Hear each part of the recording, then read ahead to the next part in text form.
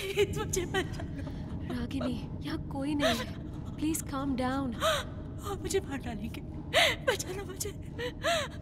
please मुझे बचा